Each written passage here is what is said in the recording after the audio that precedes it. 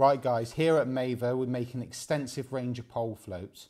But a great little tip for you when choosing what pole float to use is to correct the right material of the stem. So this winter, when the conditions haven't been great and it's been windy or a bit towing, I use a wire stem. This will make the rig act a little bit more stable. But when the conditions are good and you can flick your rig out and fish a little bit more on the drop, I use carbon. Now this is massive for me and caught me loads more fish when I used the correct pole float.